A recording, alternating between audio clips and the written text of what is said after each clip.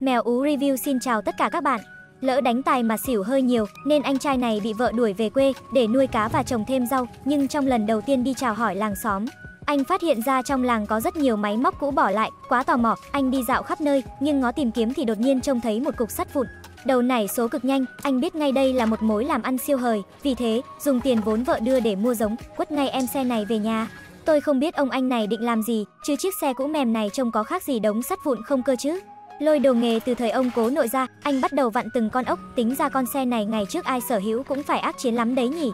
Theo anh chia sẻ, thì con mô tô 150 phân phối này mà còn ổn áp thì bán ra cũng được giá lắm đấy. À, thì ra ông anh định làm mới lại con xe này. Liệu bạn có tin anh làm được không? Chứ mèo ú là hơi nghi ngờ rồi nha, vì chiếc xe cũ đến mức một số con ốc còn không thể vặn được ra mà phải tác động vật lý mới tháo được. Cũ mềm như này, anh mà khôi phục lại được thì mèo ú nể anh thật đấy. Anh tháo tất cả mọi bộ phận ra, từng con ốc một từ to chí nhỏ đều bị anh tháo tuột không trượt phát nào, mấy ông này cứ lột ra thì nhanh lắm. Không biết nếu cứ không đánh dấu như thế thì liệu đến lúc lắp vào có dư ốc không nhỉ?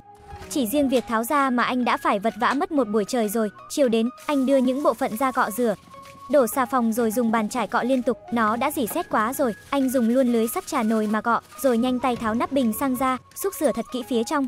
Vì lớp sơn phía ngoài không thể dùng được nữa, anh lấy con dao nhỏ, tay nhanh hơn não liên tục cọ sạch lớp dỉ xét lẫn phần sơn phía ngoài ra.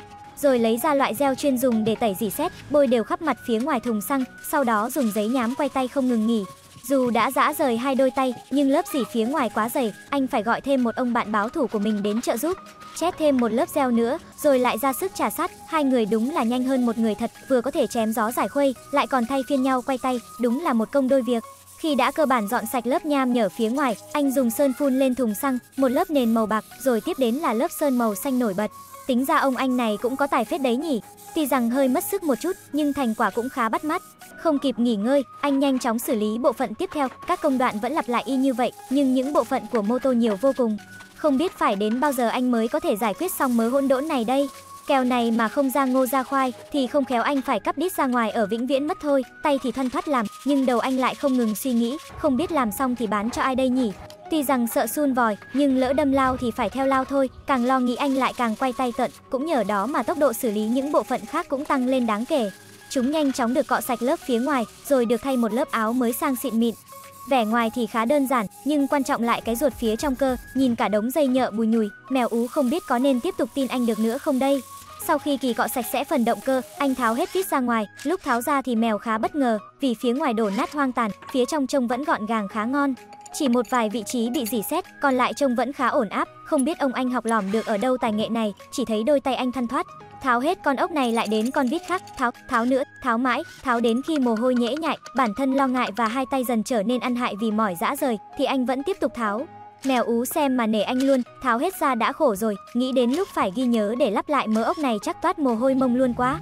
Vật vã mãi anh mới có thể tháo dỡ được mọi bộ phận rời ra, rồi lại bước sang công đoạn cọ rửa, với chi phí là một cốc tà tữa, anh thuê thêm được cô em họ vào cọ giúp.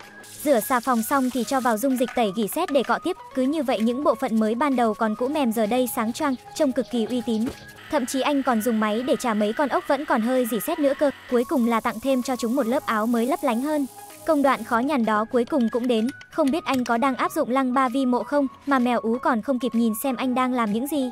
Mà chỉ giây sau, mọi thứ đã gần như đâu vào đấy, những bộ phận được giáp nối với nhau một cách hoàn hảo, và đương nhiên là trong một phiên bản nâng cấp sạch sẽ và đẹp đẽ hơn.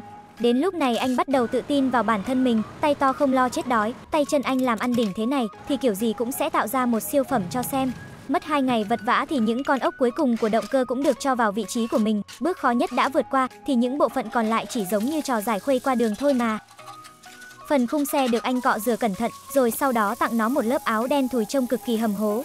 Tuy hơi nghi ngờ, nhưng anh vẫn cho rằng hai chiếc lốp xe này còn dùng được, tuy vẫn phải kiểm tra một chút, nhưng đầu tiên cứ phải cọ rửa cho nó sạch sẽ trước đã. Đời đúng là không như là mơ, cọ rửa xong thì anh phát hiện ra, mua hai chiếc bánh mới cho nó nhanh gọn lẹ.